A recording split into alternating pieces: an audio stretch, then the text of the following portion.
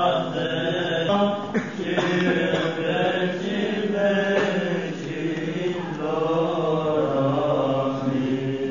numele Tatălui și al Fiului și al Sfântului Duh, amin, binecuvintează, Părinte, ca să vorbesc.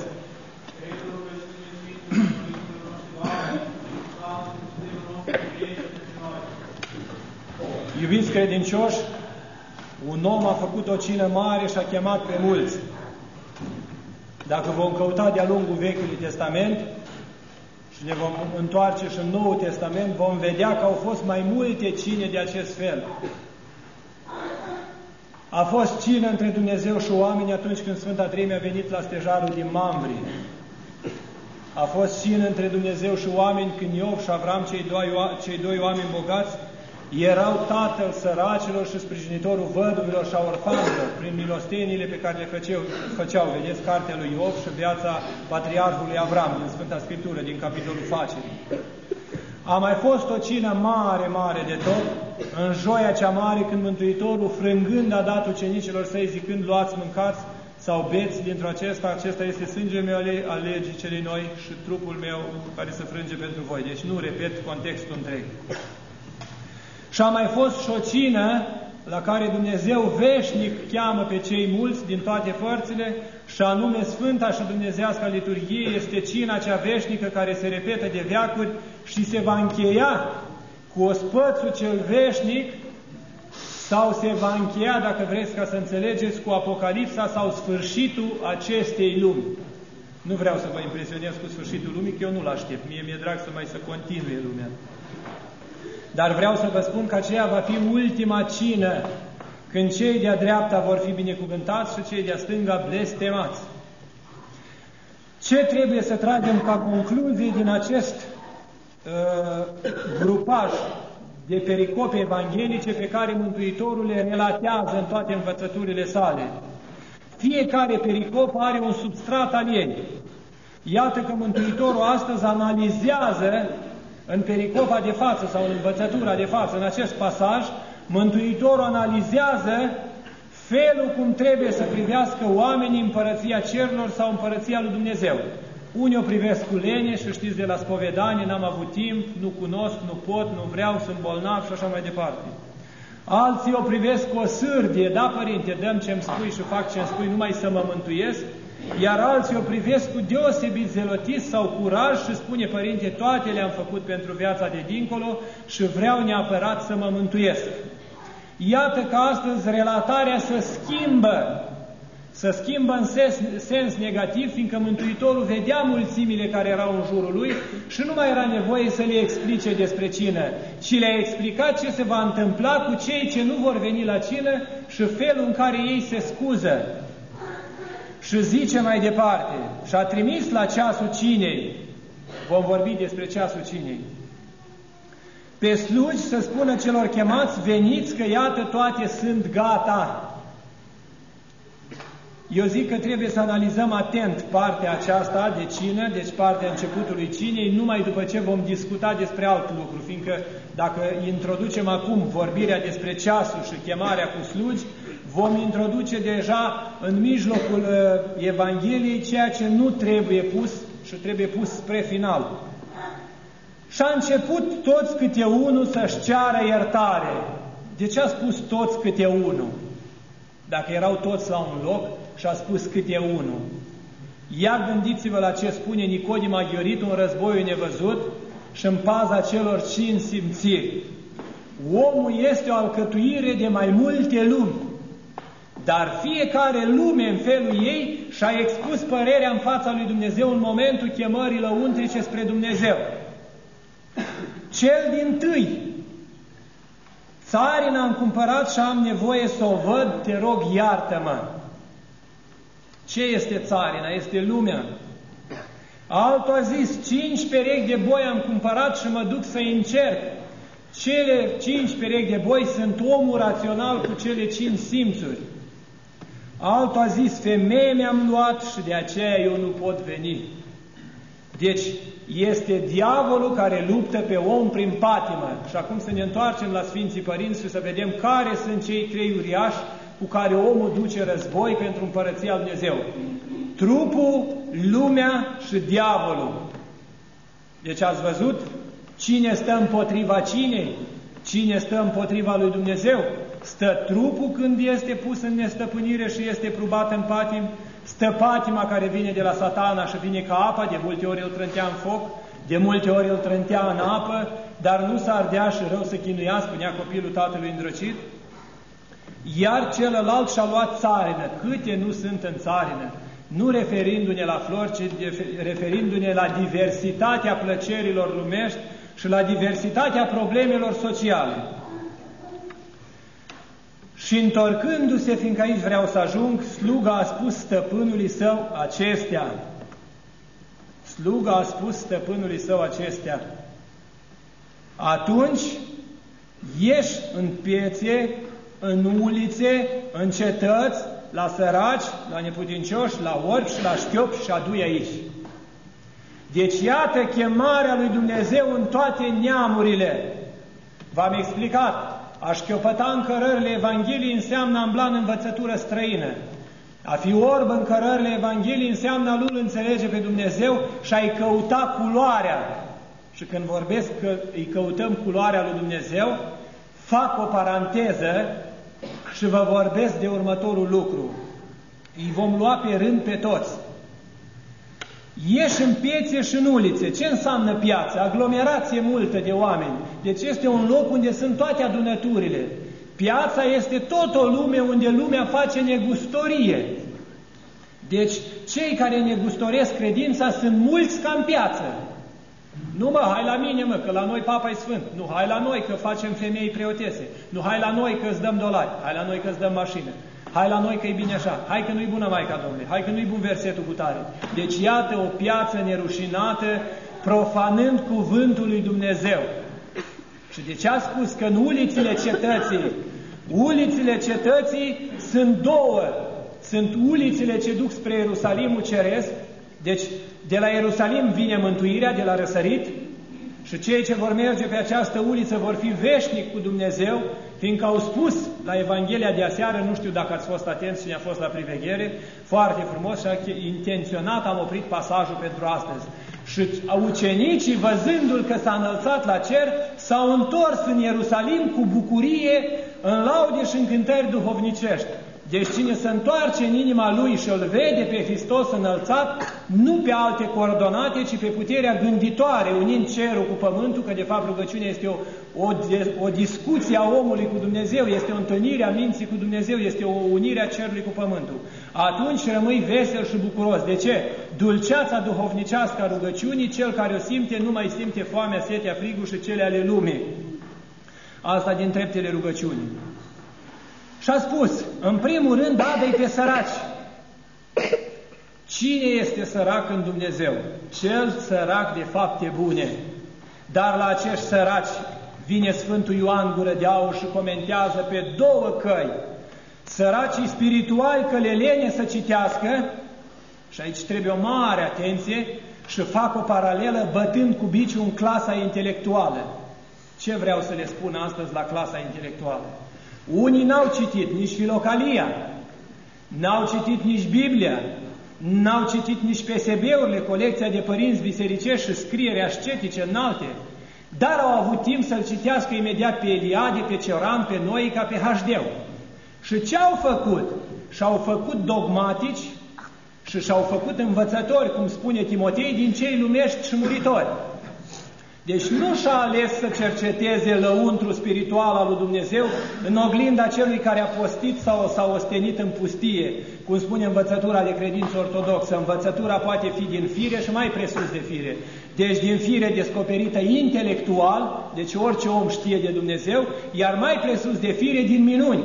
De exemplu, mie îmi vine mai ușor să cred porcăriile vorbite de Cioran, care era între ateism și necredință, sau între o credință bolnavă, ajută Doamne necredinței mele, decât să ascult de maxim mărturisitorul care trăiește în post și rugăciune, pentru Dumnezeu îi se taie limba și mâna dreaptă atât de tare se temeau păgânii de el. Și ca să nu mai poată vorbi și scrie la un nenorocit, la un mutilat de aceste două arme cu care apăra pe Dumnezeu, Și apoi trebuie să cred mai mult în hd care vorbea de spiritism, care vorbea de reîncarnare și o punea la rang de dogmă și să-i dau nas și curs lui Eliade sau lui Noica sau lui nu știu mai care, Țuția sau care mai fiecare s-a încreștinat în diferite elemente ale vieții mai josnice. De exemplu, unul a cunoscut pe Dumnezeu în pușcărie, HD și-a cunoscut pe Dumnezeu mai de aproape și l-a cercetat după ce i-a murit fică sa și și-a făcut-o la nivel de idol. Și i-a făcut un palat frumos, a început să vorbească cu ea, a venit dracu în vedenie și toate nebunile. Citiți și vedeți și aflați. Deci astea sunt dogmele societății, ăștia săraci cu Duhul, ăștia cei săraci ce trebuie chemați la cină. Din ce cauză? Patristica bisericească și tradiția sau temelia bisericii este negată dar învățătura unor oameni care s-au rupt din rândul societății și au crezut că mintea lor este mai mult decât mintea lui Dumnezeu, trebuie luată la rang de dogmă. Deci lăsați intelectualitatea și coborâți-vă la nivelul lui Solomon. Adică Solomon și-a cerut de la Dumnezeu înțelepciunea și pildele lui au rămas scrise în Sfânta Scriptură. De pildele lui Solomon toți s-au izbit, dar de viața și de sfaturile lui Cioran și a lui Eliade și a lui Hașdeu nu s-a izbit nimeni. Pentru că ce se întâmplă? Vârfurile și extremele nu întăresc virtutea, ci aduc excepție regulei. Deci și în sport, și în medicină, și în judecătorie, și în miliție, și în toate, sunt și vârfuri bune, sunt și vârfuri rele, sunt și extreme bune și extreme rele. Deci se ia calea de mijloc, fraților. Deci, intelectual fiind, citește întâi ce este sufletește și apoi avântă-te a cunoaște învățăturile bolnave. Nu-ți fă tratat și dogme din prostia personală, din rușinea de a spune păcatul unui duhovnic, te duci pe o linie greșită, din rușinea de a face o metanie sau a te ruga, iei o cale anapoda. Din rușinea de a-ți recunoaște neputința, fiecare om în fața lui Hristos, când vine la spovedanie, este un mare zero. De ce e un mare zero? Fiindcă în păcate ne-am născut, în păcate trăim, în păcate ne-am zămislit. Ține minte. Sau altul care vine și îți spune, zice, Părinte, știința a făcut progres. O fi făcut știința progres, dar n-a reușit știința să facă să miște o furnică din materiale organice, deci din care este alcătuită ea propriu-zis. N-a reușit știința să facă un fir de iarbă, n-a reușit, reușit știința să facă o lentilă prin care să-L vezi pe Dumnezeu, n-a reușit știința să facă o navă spațială care să ajungă în cerurile cerurilor și apa mai presus de ceruri a lui Dumnezeu și n-a reușit știința să facă un aparat de zbor care să ajungă pe la tronul lui Dumnezeu afară de știința milosteniei, că milostenia sparge cerul și trece pe la picioarele lui Dumnezeu. Deci iată, frate, ce poate știința. Și cineva mi-a spus odată o replică frumoasă, zice, Părinte, zice, faptul că porți ochelari este, zicea, științei, da, știi de unde a luat știința metoda de a face ochelarii? Am studiat intenționat acest lucru. A privit-o pe albină și pe toate insectele care au ochi convexi și ochi compuși din mii de ochi care în momentul când oglinda lor propagă în cristalin, măresc imaginea de mii de ori. Și asta a învățat știința să facă și să aducă printr-o lentilă imaginea pe retină sau să o apropie din spatele retinei în fața retinei atunci când ești miop sau apresbit, cum se spune. Deci iată ce face știința în plus pentru, Dumne pentru om, cum spune Ioan Gură de Aur. Doctorul este bolovan de lut în mâna lui Dumnezeu, care taie, vindecă și coase numai ce este spre mântuire. Deci ce trebuie să se mai lungească cu zilele? Nu doctorul lungește zilele la Dumnezeu, ci Dumnezeu le lungește prin doctor, că așa trebuia să fie. Deci iată, frate, ăștia săraci cu Duhul, ăștia sunt mai săraci decât săracii, că nu cunosc pe Dumnezeu și să neacă în căi greșite. Al doilea lucru, chemați pe orbi Ăștia sunt cei mai periculoși. Din ce cauză? Mai era un orb ce cerșea lângă cale și am vorbit de el. Ei, ăștia sunt orbii care stăteau în piață. Și de ce sunt orbi? Spune Scriptura, când vă faceți un ucenic după ce colindați marea de 3-4 ori, zice lumea o înconjurați, îl faceți îndoit fiu al ghenei. Deci, și în credințele păgâne, și în credințele neocreștine, și în credințele creștine. Deci, chiar și în ortodoxie avem orbi. Ce fac orbii din ortodoxie? Își fac un fanatism din ea și o iau raznă. Deci, ori postez fără măsură, ori să roagă fără măsură, ori o iau razna de tot și deodată dau eșec și spune, zice, m-am lămurit și m-am săturat și de Dumnezeu nu mi-a ajutat la nimic. Dumnezeu nu ajută proștilor, înțelepților, adică Cine postește pentru Dumnezeu nu greșește lui Dumnezeu. Cine postește fără Dumnezeu pentru Dumnezeu face păcat. De ce? Relația eu-tu, adică duhovnic penitent, este legătura care ridică ceața de pe ochii orbilor și le arată măsura posibilității de înălțare la Dumnezeu prin voința și puterea lor, dar prin sfatul și ascultarea duhovnicului. Deci nu vrei tu șapte zile, dacă eu ți-am spus trei, tu ții trei. Dacă eu ți-am spus două, tu ții două. Deci nu face duhovnicul târg cu tine. Nu-i pui tu program lui. Atâta pot, nu atâta poți, atâta trebuie. Pentru că ce se întâmplă? Neascultarea naște moarte și naște păcat și rodul păcatului este moartea. Ori mai sunt. Avem ori care au lepădat pe Maica Domnului pentru o mașină, sectare. Avem ori care au lepădat sfatul Sfinților, când Scriptura scrie negru pe alb și Sfinții vor judeca lumea. Avem ori care au lepădat biserica. Și unde au ajuns? Au ajuns de râpă, au ajuns înglodați în cele materiale și astăzi strigă ca acel bogat de atunci. Suflete ai de toate, bea, mănâncă și te veselește, că dracii te așteaptă la porțile vămilor să te ducă în fundurile iadului. Din ce cauză? Materia nesacramentată sau neînduhovnicită duce la iad. E bună și mașina în cărările Evangheliei, e bună și mașina în cărările societății, e bună și mașina în cărările serviciului, dar nu în cărările pierzării. Ai înțeles? Nu la distracție, nu la desfrâu, ci la biserică, la servici, la spital și acolo unde ai nevoie. E bună și mâncarea, e bun și televizorul, dar e rău ascultătorul. Dacă rău le folosește, spune Părintele Cleopa, sufletul se păgubește. Știți ce am vrut să spun, uitându-vă la icoana lui Sarsailă de la televizor, când el nu face altceva decât să-și arate fundul gol oamenilor. Asta face satana prin televizor pentru cei ce nu știu să-l folosească. Mergem mai departe. Și pe șchiopi adu aici. Care sunt șchiopii? Vă spun eu care sunt șchiopii. Sunt oamenii care l-au cunoscut pe Dumnezeu și după ce l-au cunoscut, în loc să sporească din virtute în virtute, deci în loc să ajungă la înălțimea cunoașterii de sine, ăsta e duhovnic rău. Hai la ala că nu dă canon. Hai dincolo că te împărtășește peste avort. Hai dincolo că te împărtășește pe nepostit. Hai aici că nu-ți cere nu știu ce. Hai aici că nu-ți face nu știu ce.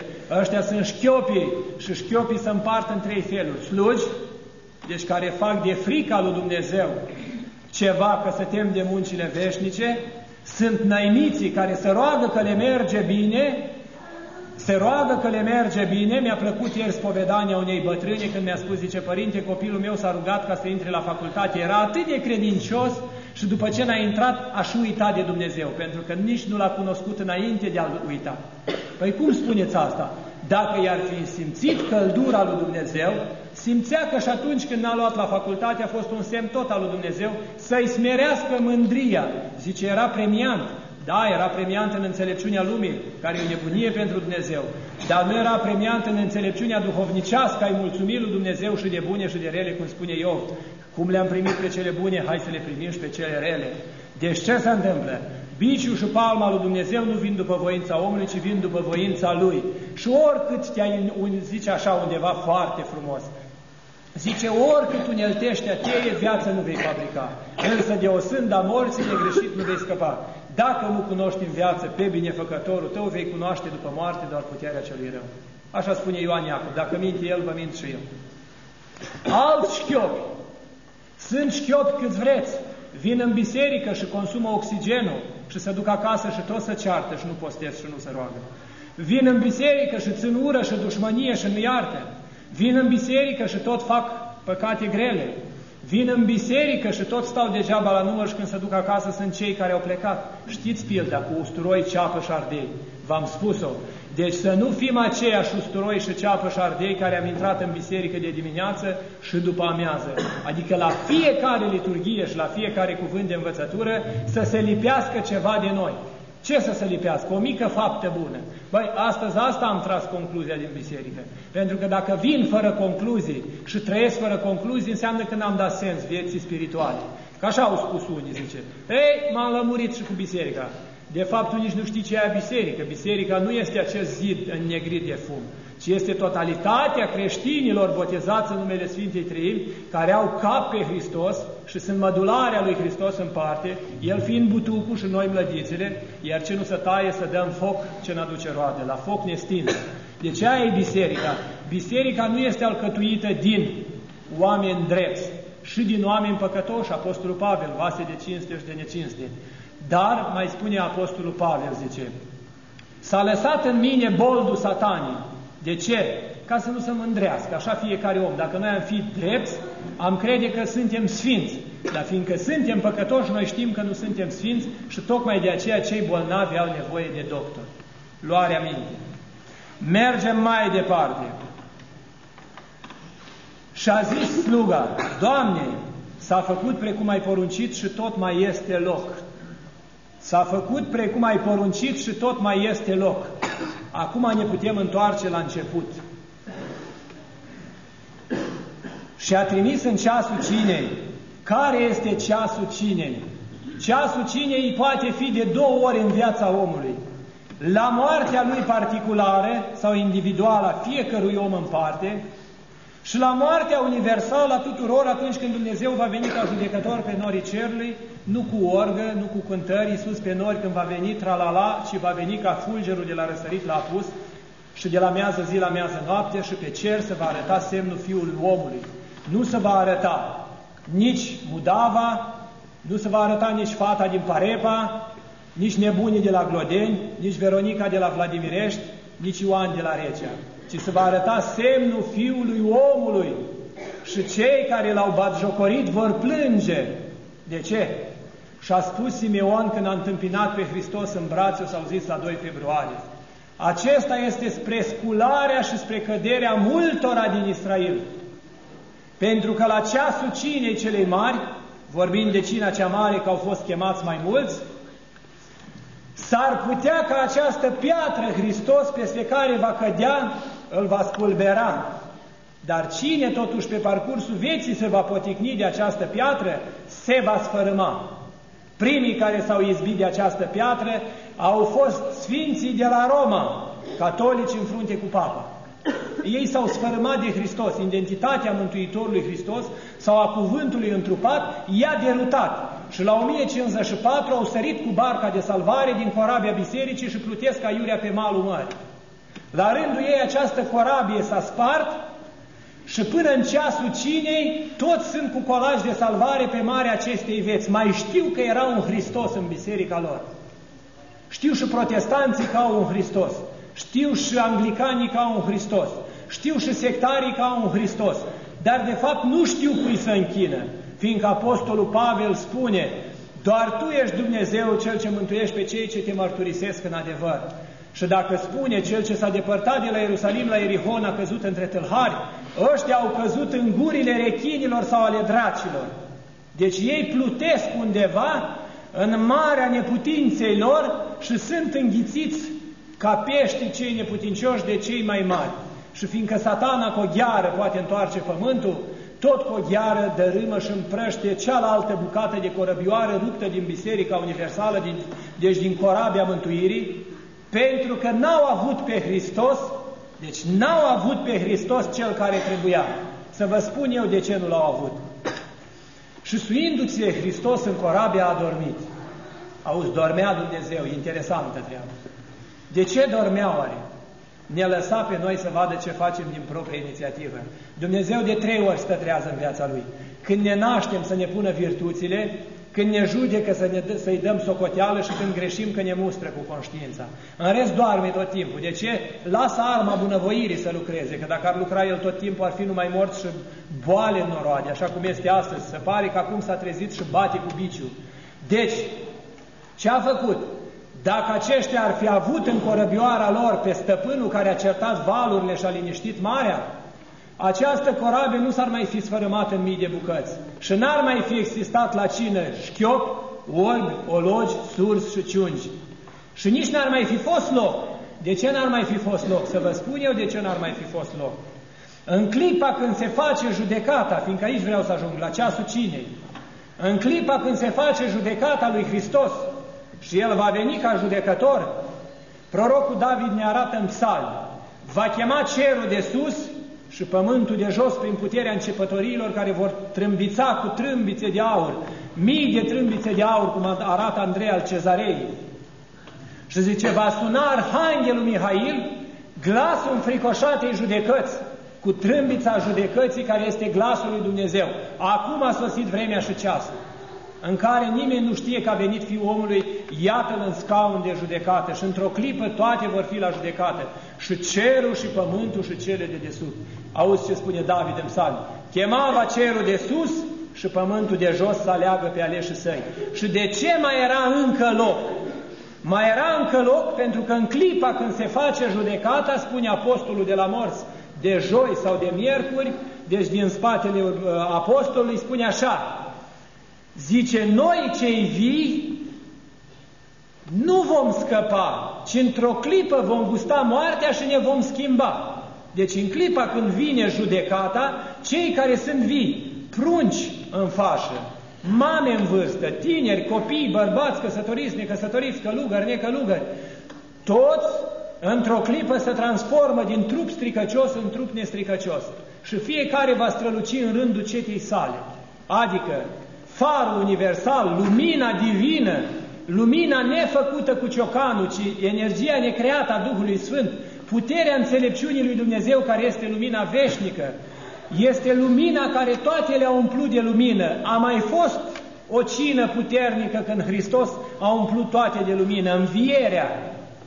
De înainte de înviere a dat încă o masă puternică. A fost o masă din care au mâncat cei 12 apostoli împreună cu vânzătorul. A fost o masă care s-a transformat în masă festivă în adâncurile iadului. Și prorocii și drepții Vechiului Testament să veseleau de dreptatea lui Dumnezeu și de minunăția profețiilor lor pe care nu le înțelegea Toma. De nu voi vedea și nu voi pune mâna, nu voi crede. De aia Mântuitorul i-a spus, fericiți cei ce n-au văzut și au crezut. De ce? Câtă bucurie și veselie era în străfundurile iadului. La Ioan Botezătorul, iată melul lui Dumnezeu. La David, rupt au cămașa mea, aruncat au sorți pentru cămașa mea și au zdrobit oasele mele. Sau cum spune acolo și mai departe zice, și s-au împuțit ranele mele. Deci câtă o sândă, câtă neputință în trupul lui Hristos cel omenesc, nu în Dumnezeire, Dumnezeirea n-a suferit schimbare sau maltratare, pentru păcatul lumii și tu aduci la rang de dogmă un idiot care a avut o gândire filozofică și pe jumătate creștină. Deci te-ai născut dintr-un ținut creștin, într-un neam creștin, apostolic și sobornicesc și vii să-mi spui mie că Buddha e mai deștept și Confucius și ăsta cum îi spune, și Mahomet, și Brahna, și Krishnu. Deci iată câtă gândire bolnavă. Deci Domnul Savaot este stăpânitor peste religiile istorice, Domnul Savaot, deci este stăpânitorul peste religiile istorice, și vine Fiul și Cuvântul întrupat și restaurează religiile istorice și aduce pe toți fia lui Avram prin credință, tăindu-i împrejur la urechi și la simțuri, și tu vii să-mi spui mie că reîncarnarea e la grad de dogmă. Știi cine se reîncarnează? Curvarii când se îngrașă, curvele când fac avort, ele se reîncarnează. De ce? Mai prind un trup în trupul lor și îl duc la doctor. Aia e reîncarnarea. Pentru o mamă creștină, reîncarnarea înseamnă postul și rugăciunea. Cu cât slăbește trupul, să veselește sufletul. Așa spun cântările postului mare. Cu cât slăbește trupul, să veselește Duhul. Spune Efrem Siru și iarăși spune. Druhul trândăviei și-a grijă de multe, și-a iubire de stăpânie, și-a iubire de argint, și-a lăcomii, nu mi-l da mie iar Duhul curăției, a gândului smerit, a răbdării și a dragoste dăruiește mie slugii tale. Auzi câte Duhuri sunt în văzduh, că mulți sunt cei ce se luptă de la înălțime, dar noi nu-i vedem, că lupta noastră nu e împotriva sângelui și a cărnii. Astea intră în pământ, să seamănă stricăcios, să răsară duhovnicesc. Lupta este împotriva domniilor și stăpâniilor acestui veac. Ce sunt domniile și stăpâniile? Sunt generalii cetelor cerești care au căzut odată cu Lucifer și s-au format acele vămi înfricoșate sau acele garduri de foc duhovnicesc în care Dumnezeu își cenzurează ca în securitate, și securitatea e mică că ea știe doar ce îi spodește prin bătaie, Dumnezeu știe prin știință că cercetează rărunchii și adâncurile inimii omenești și vede cât păcat și câtă nenorocire este în capul omului. Dar Dumnezeu este bateria universală, este motorul universal care pune în mișcare, începând de la gând și până la viața ultimului gândac sau vierme, toată energia universală. Și El este Cel ce radiază în noi lumina cunoștinței sale. Însemnatul-s peste noi lumina feții tale, Doamne. Auzi ce spune David în salm. Însemnatul s-a peste noi lumina feței tale, Doamne. Păi cum poate să fie fața mea fața lui Dumnezeu? Când El e milostiv, eu sunt rău. Când El e curat, eu sunt murdar. Când eu, El este sfânt și eu sunt spurcat. Când El este sărac și eu sunt bogat. Care e lumina lui Dumnezeu?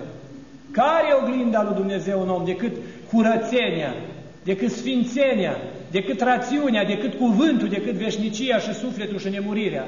Mai este vreo oglindă? Există o oglindă pentru bolnavi. Își pun un, își pun un, un ghiul de coarț la gât și se uită în tunelul timpului. Văd cât de proști au fost din generație în generație până la ultimul lor protopărinte. Adică, ce s-a născut din niște desfrânați sau destrăbălați fără credință, este produsul și, și arborului din spate, deci în descendență și în ascendență. Deci nu poate. Zice, părinte, zice, eu postez că sunt din neam de preot.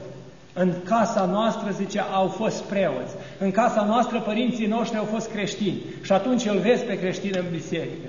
Altul spune, zice, părinte, eu nu le am cu credința. La noi în familie nu s-a pus accent pe așa ceva. Bine că s-a pus accent pe prostie.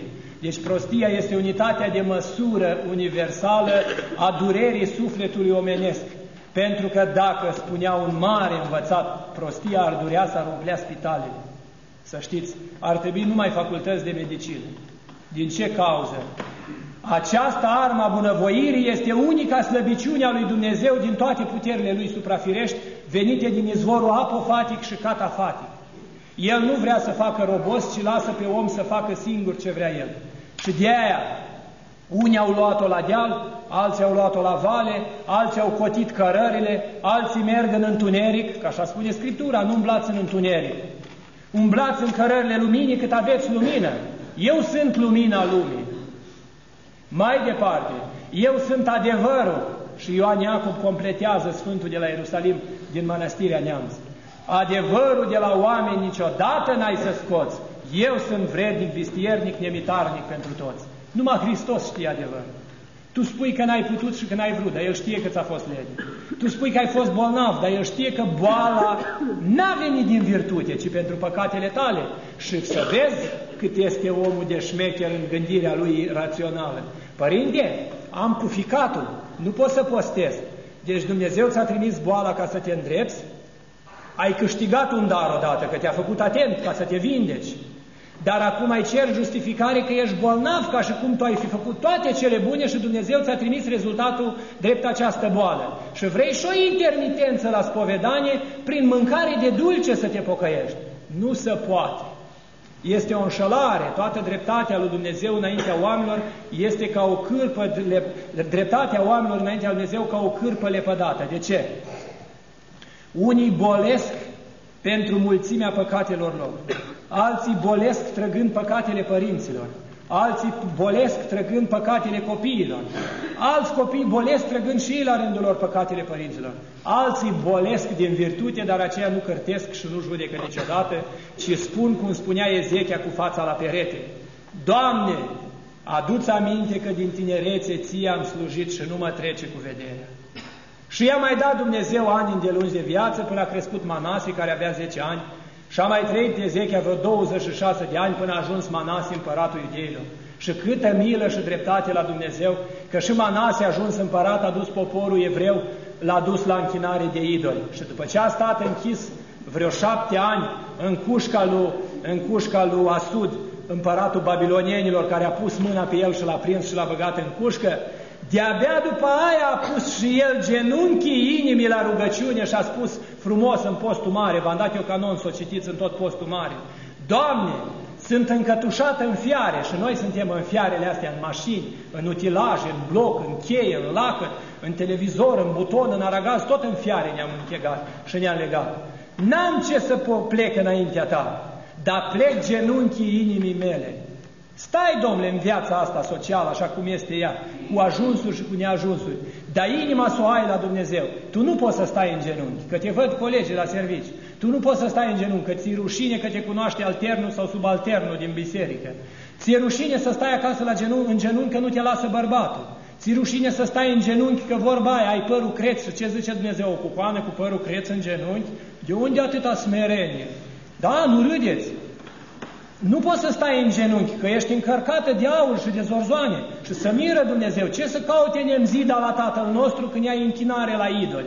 Dar vine Dumnezeu și spune, pleacă-ți genunchii inimii tale. Plângi că te-ai vopsit, plângi că te-ai despărțit, plângi că ai făcut păcate, plângi că ai divorțat, că ai avortat, că ai curvit, că ai desfrânat, că ai furat, că ai mințit și toate celelalte. Pocăința prin lacrimi să iartă. Ce a făcut femeia păcătoasă este o cântare minunată în postul mare, nu o cântă la strană, că este lene. Doamne, femeia ce căzuse în păcate grozave, cunoscând Dumnezeirea Ta, dar de mironosiț a luat, ungând cu mir capul tău și spălând cu lacrimi picioarele tale, ștergându-le cu perii capului ei. Nu vi se cere să ștergeți picioarele Mântuitorului. Măcar ștergeți-vă păcatele și ajungeți curați la picioarele Mântuitorului. Atâta vi se cere. Deci, iată, ori, șchiopi și neputincioși. Ați văzut formula acelora care este. Mergem mai departe. Și în ceasul cinei să spună celor chemați. Noi am auzit și la Sfânta Liturghie, cei chemați ieșiți, cei chemați ieșiți, cât sunteți chemați ieșiți. Ce se întâmplă? Cei chemați sunt cei care de data aceasta nu sunt chemați din, numai din neamul păgân, din toate neamurile și care n-au auzit de Dumnezeu și care vor să-L cunoască pe Dumnezeu, dar mai ales se referă la aceia care îl cunosc pe Dumnezeu. De data aceasta, cei chemați sunt cei care l-au cunoscut pe Dumnezeu în legea veche, prin tăierea botezului împrejur la Avram, prin legea lui Moise în timpul decalogului, prin legea arheriei și a preoției în biserică până la Ana și Caiafa până la răstihnirea Mântuitorului. Și de ei era vorba, evident lucrul ăsta. Iar mai ales acum, cei chemați sunt cei care au cunoscut legea darului. Uite cum casca somn. Deci, legea darului, legea darului este legea iubirii supreme. Unde ai mai văzut tu să fii plin de păcate și printr-o simplă și ușoară convorbire în pace și în înțelegere cu duhovnicul să plece acasă curat și să spună ți-am absolvit păcatele, ți le-am dezlegat, iată, ești curat să nu mai greșești. Uite câtă putere, uite câtă, de, câtă adâncă milostivire și cât dar de pomană. Spunem tu, dacă legea civilă pentru o ucidere deci legea civilă pentru o ucidere îți dă 7 sau 8 sau 12 ani. Și Dumnezeu, pentru că lași un prunc nebotezat și faci hulă împotriva Duhului Sfânt, prin avortul care se petrece, că nu contează în sine acea bucată de carne care o arunci tu afară, contează că ai călcat cuvântul Scripturii de nu se va naște cineva din apă și din Duh, nu moștenește împărăția cerurilor. Iată cum să închid porțile cerului la milioanele de prunci și de embrioni avortați înainte de termen. Pentru că cineva mi-a spus odată, mi-a reproșat dur la spovedanie. O doamnă din înalta clasă citise șapte ani Apocalipsis de Ion Țugui, grasă, era cam cât strana asta, și mi-a spus, zice, părinte, dar ce m-am măritat să stau cu bărbatul în vitrină? Nu, dragă, te-ai măritat să faceți păcate. Zic, taina cununiei Hristos când a pus-o în biserică, cu acest scop a spus-o. Faceți-vă de cap. Așa i-a spus nu Simon Zilotul la Cana Galilei. Așa i-a spus, Simone, ia femeia ta și fiți ca harmăsari. Nu, frate. Și a zis Hristos către mama lui, ce vrei femeie? S-a terminat vinul nunții, adică s-a terminat învățătura lui Hristos în acea mulțime. Au băut și au mâncat mâncarea din pustie, mană, pâine, pește și acum îl aveau pe Dumnezeu de față. Și când a vorbit la nunta din Cana Galilei Hristos, Simon Zilotul și-a lăsat nevasta și s-a făcut apostol chiar din ziua anunții, de aia e minunată nunta. Și atunci nu, nu, nu, nu, care se presupune că era unul din cei 70 de apostoli și el la rândul lui, i-a zis lui Hristos și mirelui. Păi zice, fraților, zice, a spus întâi vinul cel rău, adică mâncarea cea stricăcioasă. De ce n-ați adus nunții noastre cuvântul lui Dumnezeu din început? Că nu mai era nuntă, era exorcizare, era unire și urmare lui Hristos. Ai văzut? Și asta a fost efectul nunții. Deci și la nunta creștină nu bei vin că vrei să bei, nu mănânci că vrei ca să mănânci, ci mănânci simbolic și bei simbolic, nu ca să te îmbuibezi, ci ca să trăiești în Hristos. Este darul de omenie, este darul de cinste dintre oameni. Este unitatea în Duh în Hristos, că și popoarele din pustie puteau fi hrănite. O simplă binecuvântare și nu mai era nimeni flămând. Dar Dumnezeu le-a arătat că lucrurile firești rămân în cele firești. Adică stomacul s-a pus în om să se pună în el mâncare. Pământul s-a dat ca să-i rodească omului mâncare. Apa s-a dat ca să-i țină de sete, somnul ca să se odihnească, zâmbetul ca să-și scoată suspiciunea, ura, dezbinarea, răutatea din sufletul lui și să devină senin. Ca așa spune, zice, omul întunecat e tronul diavolului. Dar omul vesel și frumos face și pe cei din jurul lui vesel. Dar nu veselie de aia cu bătaia la pinte, dragă, ci veselia aia duhovnicească. Veselii se va dreptul de Domnul și de auzul rău nu se va teme. Auzi ce frumos spune. Mergem mai departe. Și a trimis să spună celor chemați, veniți că toate sunt gata. Păi toate sunt gata. Șapte taine avem. Preot în biserică avem. Liturghie avem. Sfântul Maslu avem. Cununie avem. Ă, pocăință avem taina Euharistiei o avem, taina botezului o avem, taina mirungirii o avem. Ce să facem altceva decât să intrăm la cină? Că a mai fost o cină la un altul din evangeliști, fiindcă ele s-au combinat, Luca fiind doctor și pictor, scrie concret. Matei, umblând mai multă vreme, în, în, umblând în urma lui Hristos și fiind și el atunci, pe vremea aia, mare funcționar, deci avea o altă gândire. Sigur că nu dobândise această funcție pe stat degeaba. A învățat în vremea aia ceva. Știa el o școală. A descris mai detailat și mai frumos. Că spune că atunci când toți s-au adunat la cină, aia e minunat lucru, a venit stăpânul nunții acelea, acelei adunări și a spus așa, Fiule, prietene, haina nu ți este de nuntă, tu de unde ai apărut aici? Întrebarea supremă. Tu de unde ai apărut aici? De unde vii? Din care cale? Din care adevăr? Din care viață? Din care rădăcină? Auzi, toiag și floare Hristoase din rădăcina lui Esei, neam împărătesc și arhieresc al Maicii Domnului. Hristos, fiul lui David, auzi, din speța lui David. Dar tu, Pentecostalule, de unde vii? Care a fost apostolul Pentecostalilor din cei 12 sau din cei 70? Care a fost apostolul anglicanilor? Care a fost apostolul catolicilor? Și cineva spune Petru. Petru devine panteism în momentul când îl iei ca apostol prim, fiindcă el slujea lui Hristos, nu lui Papa. Să țineți minte? Ia vă aduceți aminte de acea frumoasă teo, teologumenă, i-aș spune, dar e cuvânt de Evanghelie totuși. Petre, mă iubești? Da, Doamne, te iubesc. Petre, mă iubești? Da, Doamne, te iubesc. Petre, mă iubești tu pe mine? Da, Doamne, Tu le știi toate, Tu știi că te iubesc. Sau știi că te iubesc. Deci iată discuția între adevărul universal și adevărul substanțial. De ce? Petru este împlinitorul adevărului universal. Nu, împlinit, nu adevărul universal se supune lui Petru. Și Petru vine și se căiește cu ama. Când se va căi și papa la mormântul lui Hristos la Ierusalim, să face concilierea între biserici.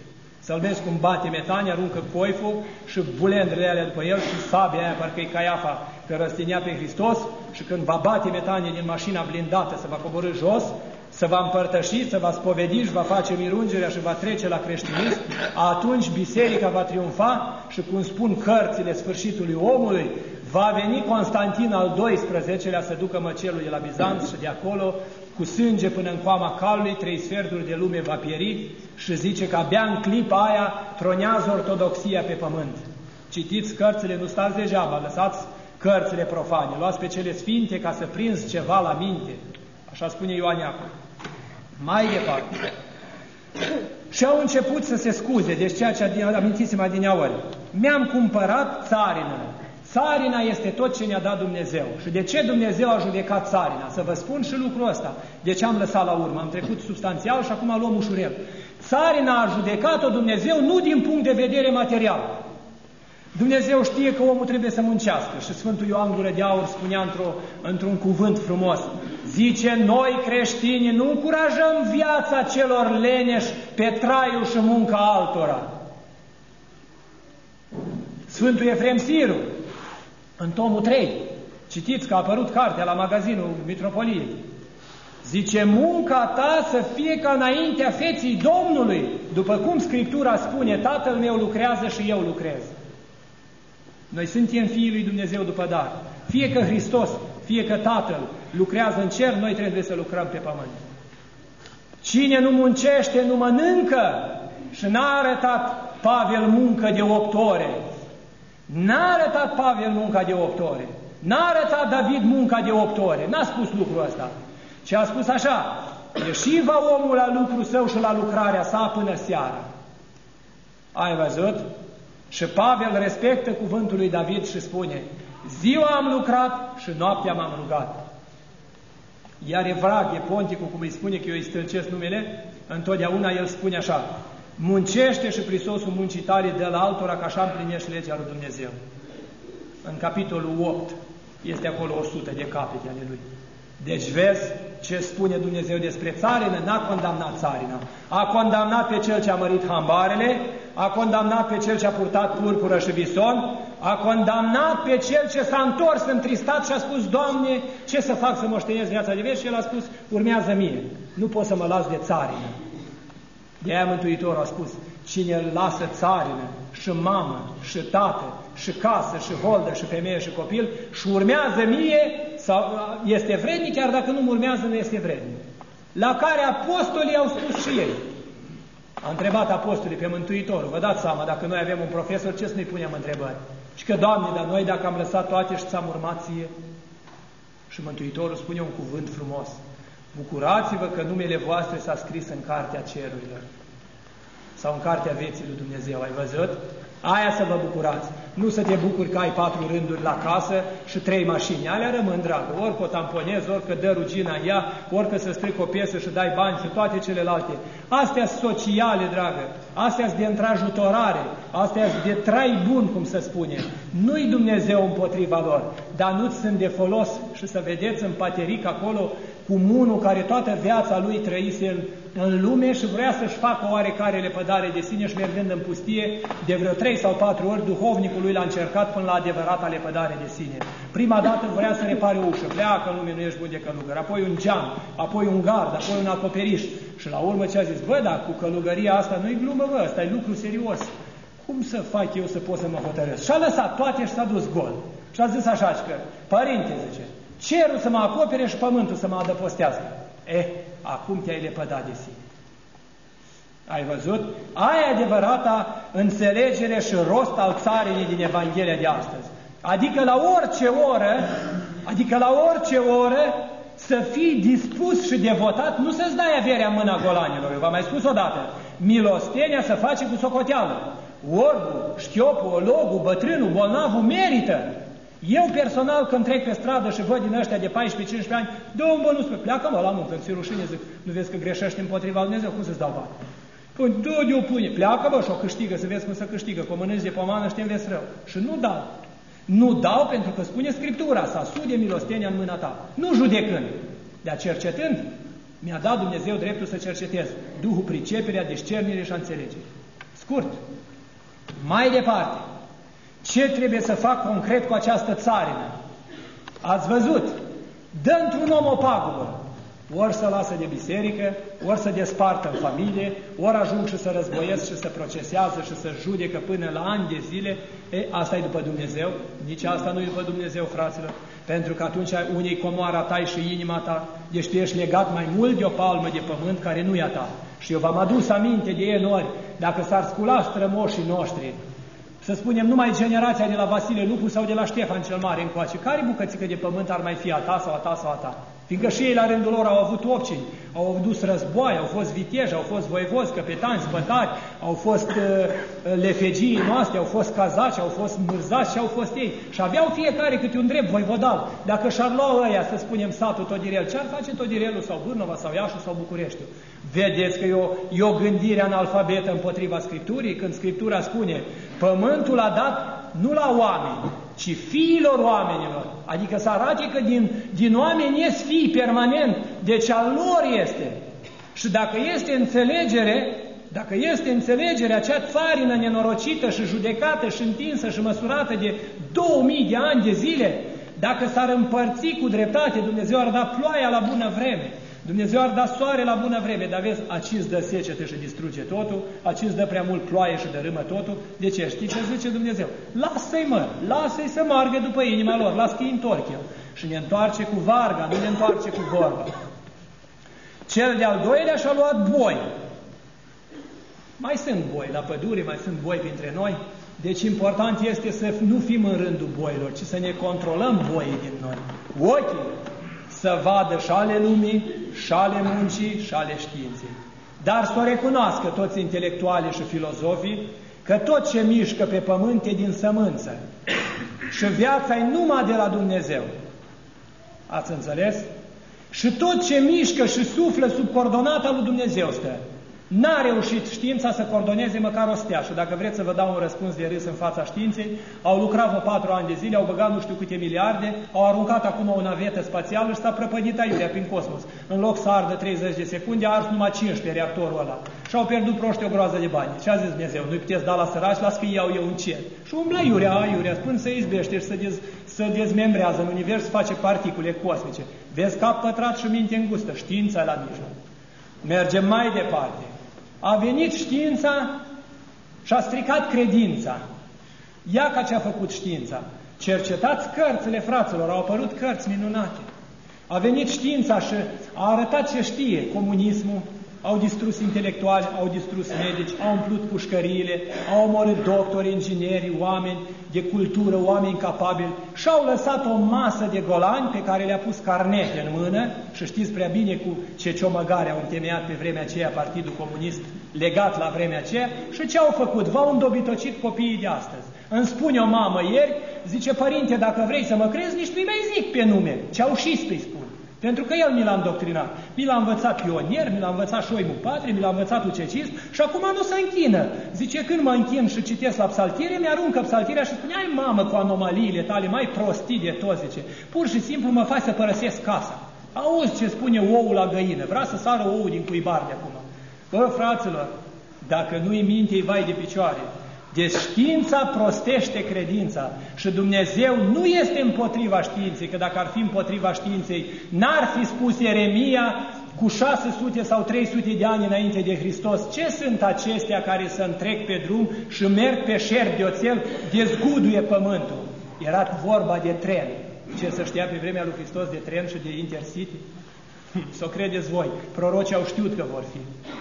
Era din știință, vă, din sclipirea lui Dumnezeu și s-a împlinit. Mai departe, întreabă Ieremia, ăsta Isaia, ce sunt acestea care zboară ca porumbarele spre cuibul lor de huie torțele cerului? Era avioane. Știa Hristos că o să fie avioane, asta știa cei din vremea lui Hristos ca să apară avioane, nu știa Ștefan cel Mare de avion, sau Vasile Lupu, da, păi de cum aia de atunci. Vezi că știința e condusă de religie, vezi că cercul înalt al lui Dumnezeu înglobează sau filtrează cercul adânc al, al, al științei, știința se pierde undeva în neant, în formula și ipostasul știați că, știați că, sau s-ar putea să, sau se presupune, dar Dumnezeu spune clar, și a fost lumină, și a fost zi, și a fost noapte, și a fost așa, și a fost dincolo. Ia să-mi explicați mie cum se explică faptul, deci cum se explică faptul că astăzi când se cunosc toate limbile pământului, Știm și engleză, și franceză, și germană, ne-am făcut un, o masă universală de oameni. Noi nu ne înțelegem. V-ați pus întrebarea? Da la pogorârea Duhului Sfânt, când a venit Mântuitorul Hristos în lume prin înviere, și a pogorât peste 12 analfabeți, că nu poți să le spui la, la apostol că erau oameni cu studii. Nu știau nici de politehnică, nici de liceu, nici de metalurgică, nici de chimie, nici de filozofie, nici de birocrație, nici de informatică, nici de birotică. Nu știau, dragă, de astea școli inventate de mintea omenească în ajutorul societății. Și atunci știau ei astea? Nu știau.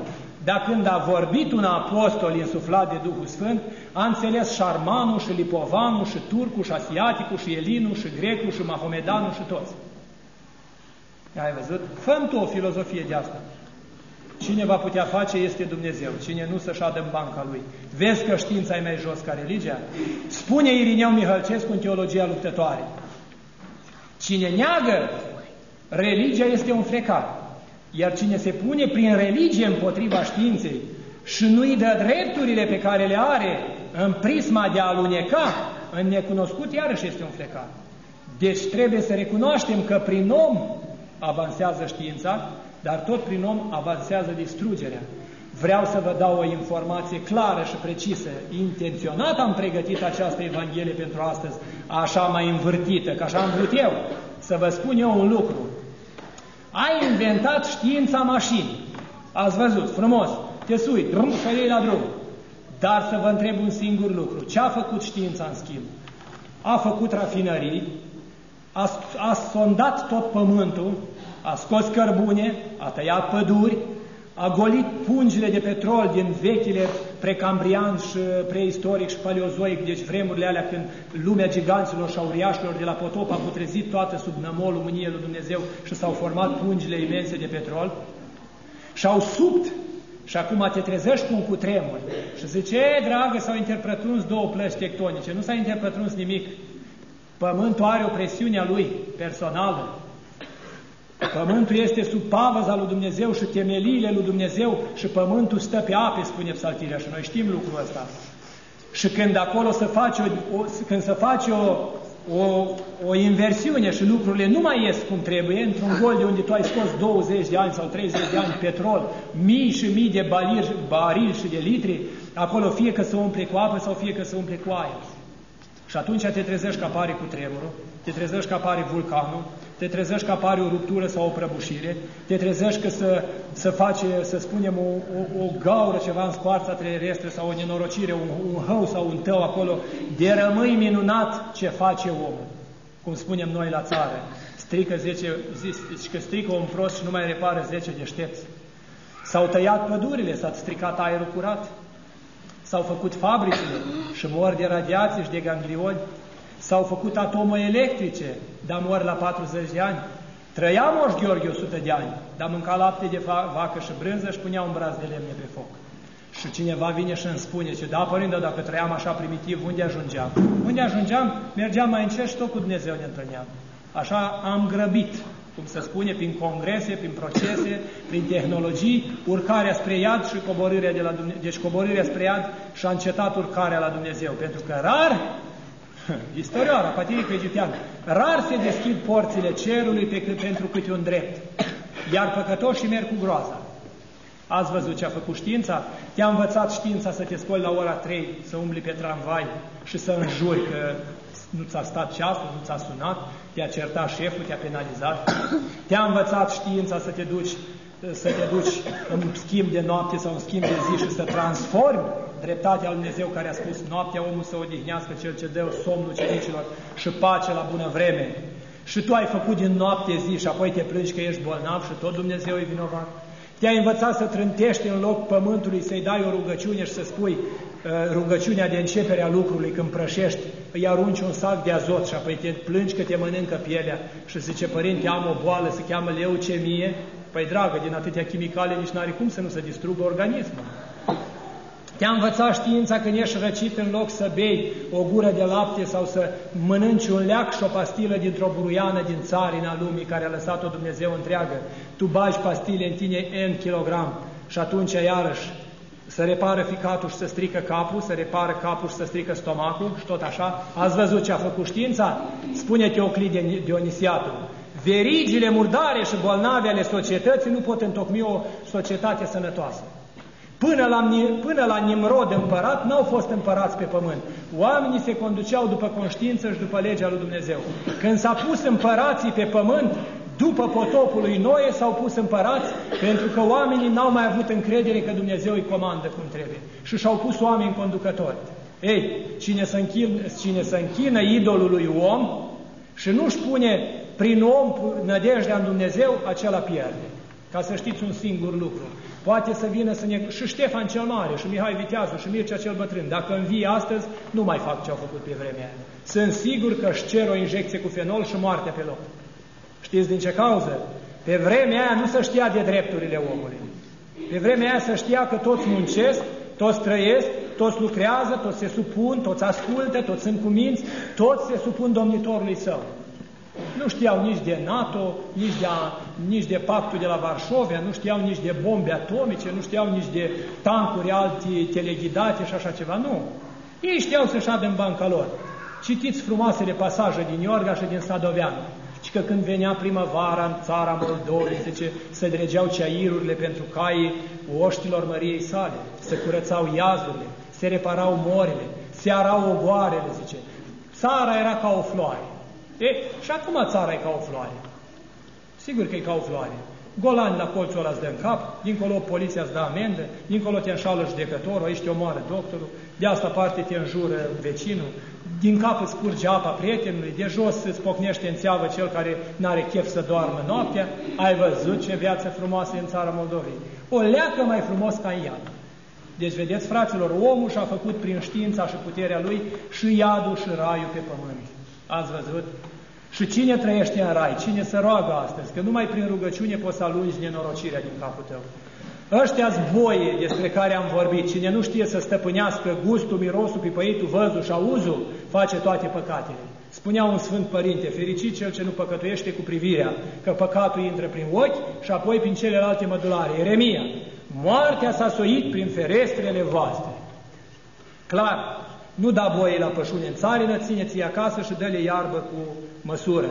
Scurt, am terminat. Lumea și diavolul. Mai avem acum trupul sau diavolul ăsta, femeia. Nu femeia în sine. Femeia în Sfânta Scriptură, după tâlcuirile lui Origen, înseamnă patimă, ca să știți. Femeia este ușa raiului.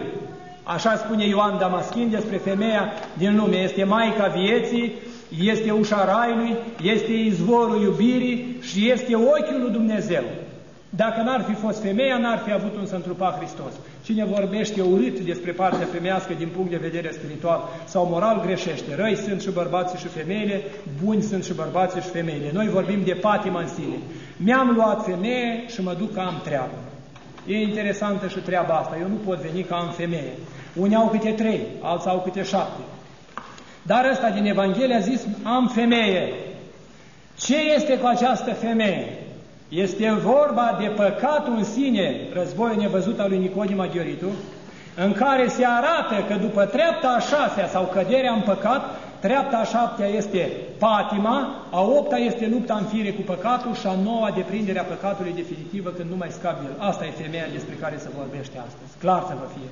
Deci este vorba de omul păcătos, care ori aude clopotul, ori aude toaca, ori aude glasul duhovnicului, ori aude glasul preotului, ori aude glasul vecinului, ori aude glasul conștiinței, nu mai lucrează. Și Talase Libianu arată, conștiința adorme în momentul maximului de păcat. Ea bate azi odată, mâine odată, mâine odată, mâine odată și odată zice, ho, ajunge, gata. Și rămâne omul în propria voie. Și atunci el vine și spune, nu pot posti, nu mă interesează, nu vreau să știu, Biblia nu-i bună, ă, cine a, cine a înființat ortodoxia a făcut nu știu ce, n-a înființat-o nimeni. Ortodoxia nu e înființată de mine și de tine.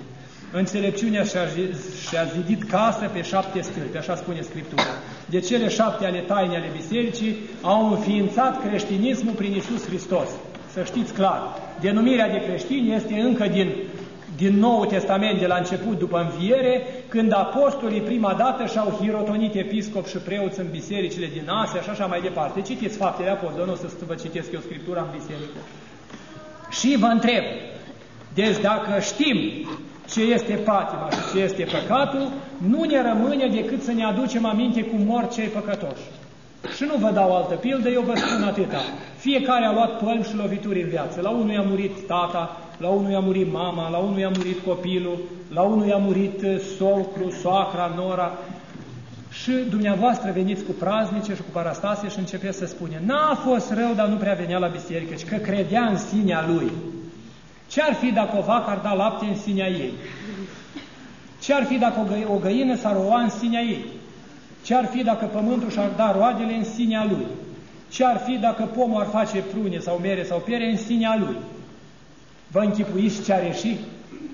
A murit de foame, n-a mai existat. Sau soarele să lumineze în sinea lui și să încălzească în sinea lui. Frate, nu există așa ceva. Asta se spune clar cu litere mari. Ateism. Adus de Stalin, de Lenin, de Marx și de Frederick Engels și de Jidani. Clar să știți. Ateism. Asta înseamnă credința în sine. Apostolul Pavel a spus negru pe alb. Credința fără fapte e moarte și faptele fără credință tot moarte. De ce a spus lucrul ăsta al doilea? Faptele fără credință sunt moarte. Ca să ne arate nouă că păgânii n-au lege și fac ale legii. Și să nu trăim cu impresia că păgânii văd raiul pentru că au făcut ale legii. Nu! Vor fi judecați sub legea lor. Legile judecății lui Dumnezeu la cina cea mare vor fi acestea. Legea conștiinței până la Avram, când a fost căierea împrejur, Moise cu decalogul, Hristos cu legea darului și păgânii cu legea zidirilor. Și cea mai grea este judecata lui Moise și a lui Hristos din legea darului, adică Evanghelia. Să știți, asta sunt judecățile lui Dumnezeu. Nu judecă Dumnezeu că ai venit tu la biserică cu trei ani înainte de a muri, te-ai pocăit o zi și aștept să mergi de o dreapta cu Sfântul Nicolae. Nu, nu, nu. nu. Faraonul cel netrupesc, cum spune Ilie Miniat într-una din învățături, așa cum nu lăsa pe femeia gârbovă să-și ridice capul să vadă soarele, adică învățătura lui Hristos robită de materie, așa vine și astăzi în casele creștinilor și spune ce rost mai are să mergi la biserică, dragă? Doar aceeași liturghie în fiecare duminică. Ce nou auzi de atâția ani? Lasă, dragă, mergem să vindem. Mergem să facem, lasă, avem treabă în târg astăzi. Dar te întreb eu, dacă Dumnezeu în cele șase zile când ți-a pus la dispoziție să muncești, nu-ți dădea ce trebuie ca să-ți rodească toate, ce mai duceai a șaptea zi în târg? Dar omul dacă e bătut în cap și nu înțelege. Deci sporul de duminica, sporul din sărbătoare, sporul când Dumnezeu a, a rânduit să te odihnești, când a rânduit să te rogi, când a rânduit să postești și să faci binele sufletesc, ala pentru Dumnezeu înseamnă dreptate, restul e foc și o sândă. Și v-am mai explicat eu, câte mame n-au copii răi și plătesc cauțiuni după urma lor de orice fel. Pe la școală, pe la servici, prin societate, cu avort, cu divorț, cu neînțelegeri, cu toate, cu blocuri, cu judecăți. Faceți-vă procesele de conștiință. Eu le aud de la spovedit, nu dau nume. Că mi-a plăcut odată când a zis un om o vorbă foarte interesantă. Și că nu mă duc să mă spovedesc, asta a fost foarte cu gust. Zice, nu mă duc să mă spovedesc la Bârnova, că dacă spun un păcat, zice, data viitoare aud vorbindu-se despre el în biserică. Păi dar n-am să vorbesc de unul care nu se face. Trebuie să-l lămuresc pe ăla care s-a făcut, dar nu cine l-a făcut, fiindcă spovedania e taină. Dar să știi și alții să nu-l facă. Ce vrei să te felicit că trăiești în concubinaj? Vrei să te felicit că mănânci miercurea și vinerea de dulce? Sau că te închini, te culci sara ca, știți voi ca cine? Neînchinat? Nu se poate, dragă. Asta e o mare rușine creștin care nu are rugăciune la culcare și la sculare. O altă bunicuță, ca să vă placă și acestea, o altă bunicuță mai cu tâlc. De ce vreau să vă spun că păcatul zace om adânc și fără margine și necredința sau acea credință în sine e murdară. Stătea odată, ele nu știu la autobuz pe lângă cine mai stă și ce vorbesc.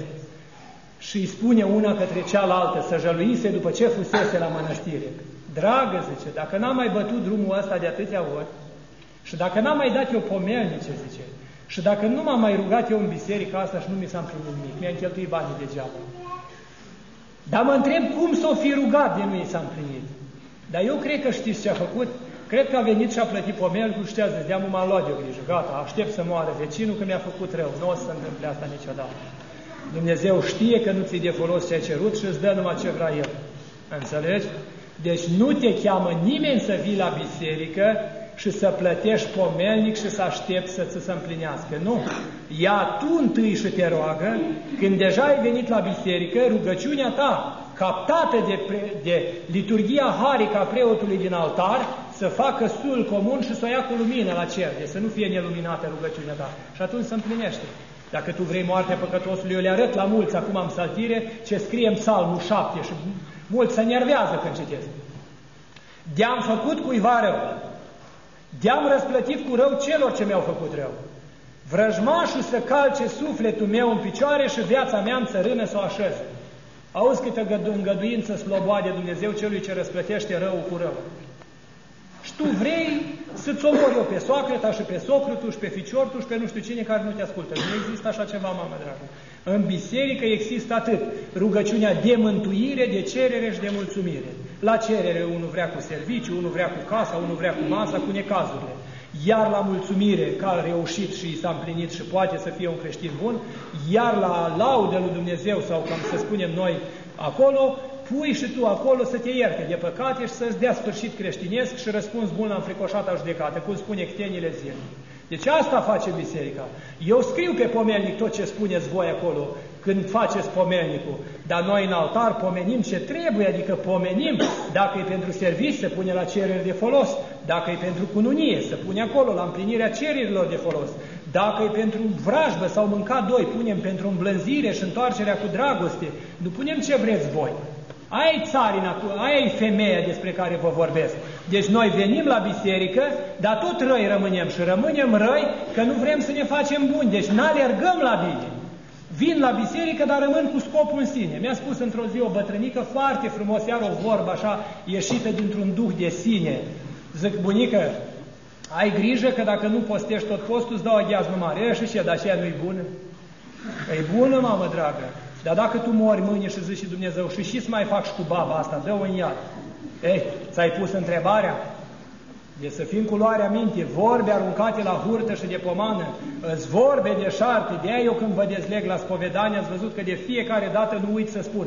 Vorba, gluma, râsul, uitarea, pisma, ura, mânia, invidia, răutatea, lenevia și trândăvia. Ați văzut că la fiecare în parte, pentru că voi nu vă dați seama ce vorbiți, nu vă dați seama ce gândiți și ce vreți. De aia vă spun, în momentul când ajungeți la cina lui Hristos, să ajungeți pregătiți duhovnicește și nu înșelați pe voi înșivă. Să lăsăm și țarina la locul ei duminica și în sărbători, să lăsăm și boi la locul lor sâmbătă și duminica în sărbători, să lăsăm și femeia la rândul ei acolo sau eventual să dăm divorț de ea, adică patima să o lepădăm de sine. Să nu avem nevoie de patimă, să rămânem doar cu boișorii și cu țarina. În țarină trăim și cu boișorii ne hrănim, iar de femeie nu avem nevoie să zacă în noi virtutea și nu păcatul care se cheamă în Sfânta Scriptură, în traduceri, femeie. Deci, să dea Dumnezeu la încheiere, spune eu așa, fiindcă e sfârșitul postului, să fiți cu luarea minte toți care ați rămas încă nespovediți și neîmpărtășiți, să nu veniți cumva miercuri când se umblă cu ajunul. Că vă spovedesc cu mătura atunci.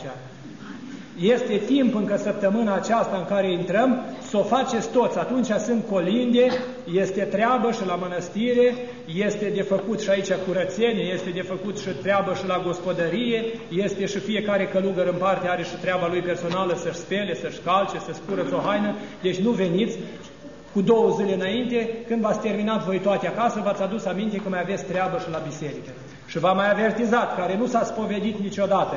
Sunt îndreptare de spovedanie acolo în spate. Nu veniți fără îndreptare de spovedanie. Eu până acum care i-am spovedit, mă la majoritatea le-am dat. Vă luați îndreptare de spovedanie și căutați-vă psaltire. Nu dau voie să se împărtășească omul care nu are psaltire în casă. Păi cum să scapi tu de farmece dacă n-ai de unde citi psalmul 37, 67, 142 și 50? Cum să scapi tu de neînțelegeri și balamuc în casă când tu nu ai psaltire să-mi faci o catismă la zi? Cum să-mi scapi de nenorocire sau de alte pagube în casă când tu n-ai paraclisul Maicii Domnului? Cum să-ți ajute Dumnezeu în viață când tu n-ai pomelnicul la morță la din spatele psaltirii care îl face deoseb tot creștinul și mireanul pentru sufletul cel adormit? Stai în casa cuiva, mănânci pe moșia cuiva, pe chiria și pe testamentul cuiva și cel ce a făcut blocul, pe unul a călcat macaraua, pe unul a călcat mașina, unul a murit în sacul cu ciment, altul a murit înnădușit. Și ăia să socotezi, de aia când faceți sfințiri pe la bloc, pomeniți și morță. Pentru că la blocul ăla s-a depus o jertfă. Ei, acolo în psaltire este o rugăciune, pomelnic pentru vii și adormiți. Aia dacă o ai, citești. Dacă ai psaltirea, nu-ți mai trebuie altă carte de rugăciune. Ceasul întâi e cu psalm din psaltire, ceasul trei e cu psalm din psaltire, ceasul șase cu psalm din psaltire, ceasul nou cu psalm din psaltire, vecernia cu psalm din psaltire, mezonoptica cu psalm din psaltire, utrenia cu psalm din psaltire. Îți mai trebuie o mică cărticică pentru rugăciunea de dimineață sau de seară. Dar dacă nu ai aia, poți să faci șocatismă la psaltire în loc de rugăciune dimineață, că nu se supără Dumnezeu mai mult să veselește. Deci, nu așteptați să vă mântuiți de pomană. N-așteptați în nădejdea că umblați prin țarină și vă probați boie și vă țineți grija femeii. Pentru că ce se întâmplă? O să vă treziți amăgiți voi singuri. Ați văzut, râd de noi toți. Numai la ortodox vezi bețivi, numai la ortodox vezi fumători, numai la ortodox vezi divorțați, numai la ortodox... De ce n-ai văzut vreun, de ce n-ai văzut vreun, de ce n-ai văzut vreun jehovist făcând yoga sau cazestezie? Păi aia sunt drăciți, aia nu ți din doctrina lor, ni se plătește ortodoxul să le apă de Hristos. De ce n-ai văzut la Penticostal sau la Adventiști vă unul să se certe și să urască să se mănânce pe față? Ca să ne arate nouă ortodoxilor că călcăm porunca Mântuitorului, iubiți-vă între voi să cunoașteți că sunteți ucenicii mei. Să nu uitați cuvântul lui Vasile cel Mare. Vai de omul care s-a născut creștin și moare cu fapte de păgân, că mai bine putrezeam pântecele Maicii sale. Iar Vasile cel Mare spune mai aspru, zice, vai de creștinul ce s-a născut în vremea dreptății lui Hristos, că cu mare măsură de dreptate se va judeca. Să nu vi se pară o glumă, deci să nu vi se pară o, un râs, să luăm viața așa, ca al doilea paragraf al Sfântului Vasile spune, din pricina faptelor voastre să hulește numele lui Dumnezeu într-un neam. N-au apărut pe pământ oameni răi și păcătoși, adică alte credințe, până n-au văzut dezbinări în sânul propriei noastre biserici. Când au văzut că ne certăm și-au făcut cult aparte, când au văzut că curvim și-au făcut cult aparte, când au văzut că înjurăm și-au făcut cult aparte, când au văzut că furăm și-au făcut cult aparte. Ei sunt mai răi ca noi, că tot oameni, nu vi se pare că sfinți. Dar fi, tipurile s-au separat. Dar noi am separat cu faptele noastre. Să avem acea tărie, să le demonstrăm că veșnic să nu existe liturghie în biserică duminica să nu se împărtășească, măcar un prunc, măcar o băbuță, măcar un tânăr, măcar o mamă sau măcar un tată cu fiul lui. Deci biserica să fie într-o permanentă lucrare și oamenii să fie într-o permanentă unire cu Dumnezeu. Nu fac liturghia, deschid potirul și 400 de păcătoși se uită, dar nu îndrăznește nimeni să se apropie. Mare rușine în Biserica Ortodoxă. Deci chiar dacă s-a terminat postul celor 40 de zile, nu bagi acum în două săptămâni jumătate de porc în tine ei frumos și mănânci rațional și ordonat, iar de Sfinții trei erari, ci, ci în zile fără un de lemn, și vii și mai iei odată Sfintele Taine, ca la începutul postului mare tu să fii deja pregătit duhovnicește, antrenat în noua luptă. Nu când vii la postul mare, tu deja ești obet, diabetul înaintat, colesterolul, glicemia, el e ca un urs, gâfâie parcă arată în deal. Nu, Dumnezeu nu iubește creștini de felul ăsta. Dumnezeu iubește pe dătătorul de bunăvoie pe cel ce pune râvnă peste râvnă, voie peste voie, voință peste voință și putere peste putere. Cu asta închei, spune prorocul David, gustați și vedeți că bun este Domnul. Asta e cina și esențialul din ea. E verticalitatea, mersul la cer, la rai. Paharul mântuirii voi lua și numele Domnului voi chema. Aleluia!